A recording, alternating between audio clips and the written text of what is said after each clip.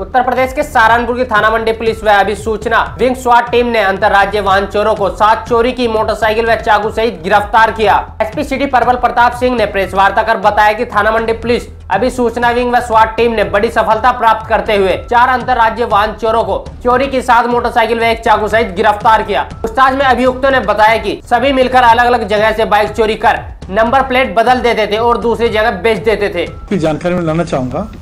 Inspector Mandi Maninder Pal Singh SSI Mandi और इनकी team के द्वारा चार मुलजिम दानिश सादाब मोहसिन और बिलाल। ये चार मुलजिम गिरफ़्तार किए गए हैं, जो कि इंटर स्टेट गैंग के मेंबर्स हैं और इनके कब्जे से आठ बाइक्स बरामद हुई हैं जिनमें तीन बाइक्स अभी कनेक्ट हुई हैं दिल्ली मेरठ और गाजियाबाद से और दो बाइक्स जो है मंडी थाना क्षेत्र की हैं। तीन बाइक्स अन्य जो बरामद हुई हैं उनको कनेक्ट करने का हम लोग प्रयास कर रहे हैं। अभी इनकी गिरफ्तारी की गई है इनके कब्जे से नाजायज चाकू बरामद हुआ है और अभी इनको इंटरग्रेट करके इनसे जो इन्होंने और वारदातें करी हैं, उसके बारे में इनसे जानकारी की जा रही है। क्राइम स्टोरी के लिए उत्तर प्रदेश के सहारनपुर से संवाददाता जोगेंद्र कल्याण की रिपोर्ट।